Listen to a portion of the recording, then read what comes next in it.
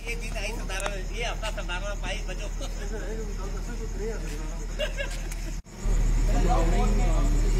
ये पेन जो स्टेज दे तो तू है भैन चो तो बिज़ी कोई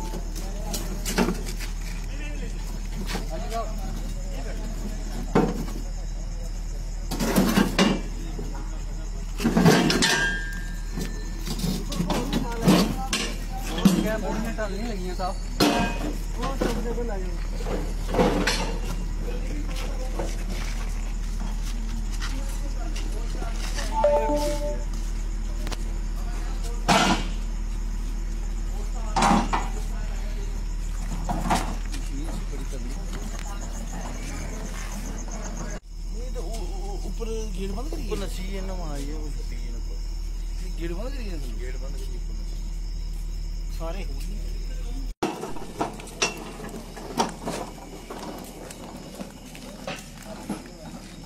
इनका दिन रात रात को ये काम करते हैं डेली जो कि पाँच बजे के बाद कोई बंदा भी किसी लेबर को नहीं लगा सकता। लेकिन ये हर बात को नज़रअंदाज कर रहा है और हमने इसके इसके ऊपर एफआईआर भी सुबह लगवाने की कोशिश करेंगे। और ये इसने इतनी लेबर अंदर बिठाई हुई है और लेबर ने एंगल लेके हमें हमारे साथ झगड़ा करने की कोशिश की है। तो ये कितने कोर्ट का ऑर्डर चल रहा है तो कि बार बार काम शुरू होना? चार कोर्ट के ऑर्डर हैं म्यूनसिपैलिटी को भी हमने पार्टी बनाया है लेकिन म्यूनसिपैलिटी वालों ने भी कुछ नहीं किया। इनको नोटिस दे के उसके बाद उन्होंने एफआईआर भी एक पुलिस स्टेशन में दी है पता नहीं एफआईआर लगी है या नहीं लगी उसके बारे में हम कल पता करेंगे ईओ साहब से। यहाँ पे सबसे बड़ा नुकसान बच्चों की पढ़ाई पे हो रहा है। इसमें आप क्या कहना चाहेंगे? अगर बच्चों की पढ़ाई पे असर पड़ेगा तो इसमें क्या कहेंगे? अगर ये हम बच्चों की पढ़ाई के ऊपर जा ही नहीं रहे। बच्चे पढ़ रहे हैं पहले भी पढ़ते थे आज केस लगे हुए हमारा छह साल हो गए हैं। हाँ। बच्चे तो पढ़ रहे हैं जैसे पढ़ रहे थे वैसे पढ़े लेकिन ये कोई क्रिमिनल बंदा है ये जो प्रिंसिपल क्राई स्कूल का है ये कोई क्रिमिनल है। जिस तरह से वो ढंग से काम करता है ना वो कोर्ट को मान रहा है ना वो पुलिस को मान रहा है। अभी भी पूरी पुलिस टीम यहाँ पे आई हुई है उन्होंने काम बंद कराया है और कुछ सामान उनका जब्त किया है। लेकिन इसको फिर इसने कल वही हालत करनी है, फिर काम शुरू करना है इसने।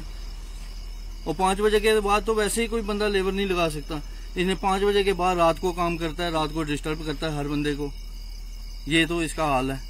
ये क्या एजुकेशन देंगे सबको?